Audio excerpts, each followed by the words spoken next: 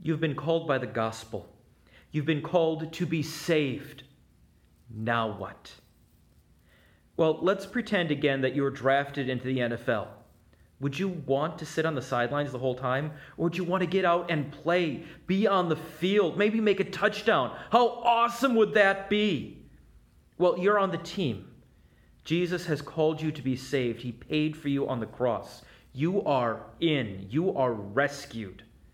Now you've been called to good works.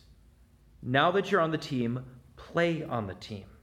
Now that you're suited up, you've been dressed in robes of righteousness, now go and play by doing good deeds.